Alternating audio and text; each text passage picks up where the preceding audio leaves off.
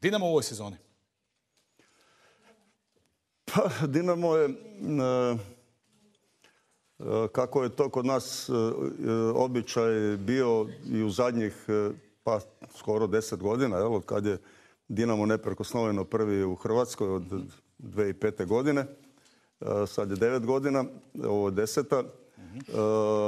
Gotovo uvijek se ulazi u, sezonu sa istim, reklo bi se, i, i planovima i nadanjima, ali isto tako e, i sa istih pozicija.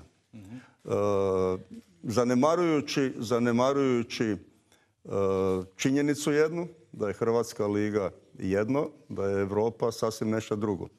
I to mi zaboravljamo tvrdoglavo i uporno godinama i desetljećima.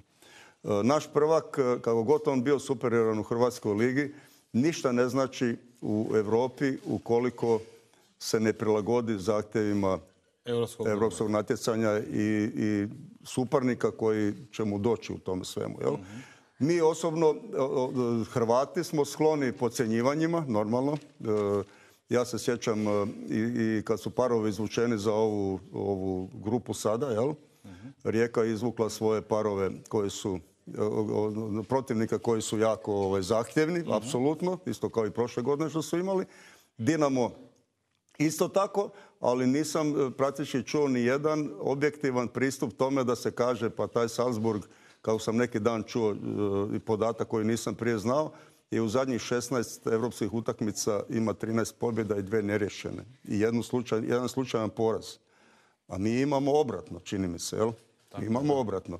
E, pa nemoguće je da naša procjena i ocjena i, prognoza bude da smo mi bolji od njih i da ćemo mi to dobiti, da Celtika moramo dobiti, a ove Rumunje uopće da ne gledamo. Jel? Mhm. I tako dalje. Uvijek sa tim predasudama ulazimo, ulazimo u natjecanje i to jedno. Drugo, ne prilagodimo momčad i ne e, prosto rečeno ne treniramo momčad za Europu, nego isključivo samo za Europsku ligu. Kako je... Kako je nego samo za, Hrvatsku ligu. Da, da, da, za, za Hrvatsku ligu. Ali ono što je e, isto tako kristalno jasno, atmosfera oko Dinama, atmosfera oko kluba na tribinama e, nekako ne uljeva onu jednu pozitivno ozračje koje se zna tako malo i pretočiti, evo što je gledate rekao i Zaprešića, i na reprezentaciju kad dolazi igrati ovdje u Zagreb, svaka čast osjećanima koji radi sjajnu priču. koliko, što, što je tome uzrok? Pa je li zaista rješenje jedino što će kazati oni koji ne podržavaju Zdravka Mamića, ako Zdravko ode, bit će sve divno i krasno? Pa ja osobno, teško to niko ne može tvrditi. Zdravko ode i bit će sada sve na jedan pod med i mlijeko. To hrvatski nogomet ne može samo tako izaći s toga sa Zdravkom Mamićem ili bez njega ili Zdravkih Mamića, više njih ili ta šta znam. Mhm. Uh, mi smo previše u dubiozama, da se tako izrazim, da bi mi mogli samo tako isplivati s toga. No problem publike u Zagrebu je kompleksan problem. To nije problem koji ćemo ja i vi sada riješiti ovdje u razgovoru. Niti čak naznačiti uh, glavne, glavne smjernice ili glavne uzroke i tako dalje. Problem publike se već pokazao prije tri godine kad je bilo, ili dvije godine kad je ovdje bio Porto i kad je došlo na utakmicu 5000 ljudi definitivno je onda postao definitivno problem. Mi iz toga nismo izvukli baš neku pouku. Ne mislim da je to neka pouka, jel?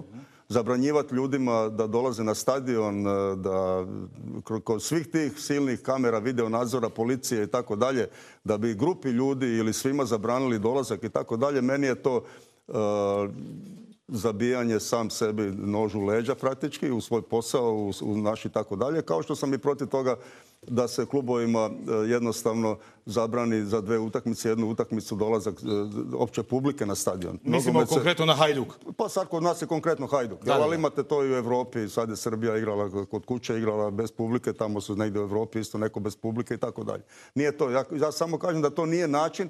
Način je drugačiji. Opet ponavljam, kod svih video nadzora, kod svih policija koji to sve super kontrolira, mi moramo isprazniti cijeli stadion. Meni to baš nije, meni to baš nije logika. Jasno, to je linija manjeg otpora ljudi koji nemaju u datom trenutku rješenja, moraju naći rješenja da bi napravili reda ili mira ili tako dalje.